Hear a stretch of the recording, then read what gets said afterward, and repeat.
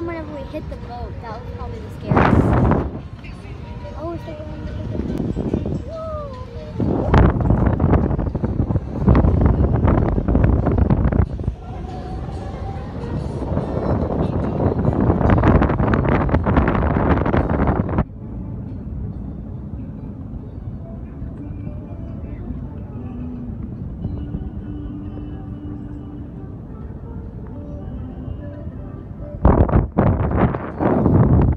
Oh yeah.